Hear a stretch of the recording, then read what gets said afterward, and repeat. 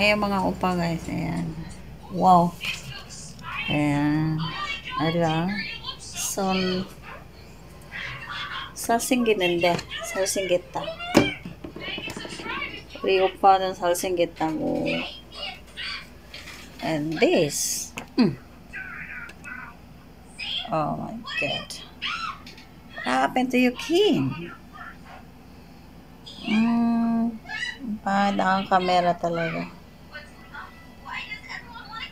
청파빠의 다음에라서 와우 아, 오빠 안녕하세요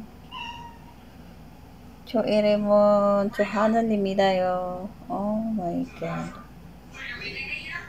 Look at that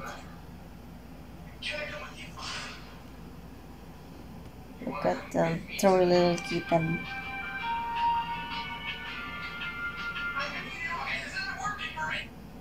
Mm-hmm. Kahit aking camera, hindi kasi ganito yun. Ayan. Mo naman. And then, yeah, Map of the Soul 7. Ito yung album 7 nila. Ayan.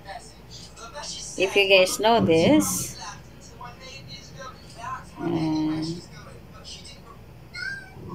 that was also, yeah. And we still have two inside. So, gagawin ko ulit siya ng video clips for that too. Kasi, ayan, wala na naman makasya dyan. Hmm. Diyan talaga.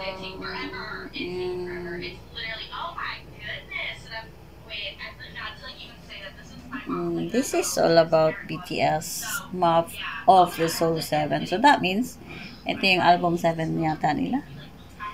If I'm not mistaken, yun yung sinasabing um, Soul 7, that means that's um, yung album 7 nila. Yung album 5 nila, meron kami. Yan. Yeah, see? So, how we purchase this one, how we get this one. One of my friend went to Korea and she purchased. If I'm not mistaken, this is about 300,000 uh, Korean won.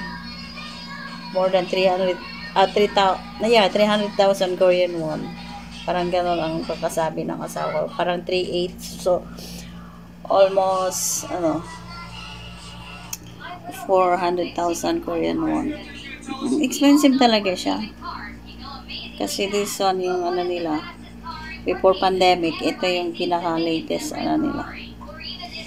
If I'm not mistaken, correct me kasi hindi ko talaga masyadong ano, yun sabi ng asawa ko. Hindi ko alam. Comment kayo kung anong meron, ano talagang pang ilan ito. Basta ito yung map of the soul 7. Ayan, yan.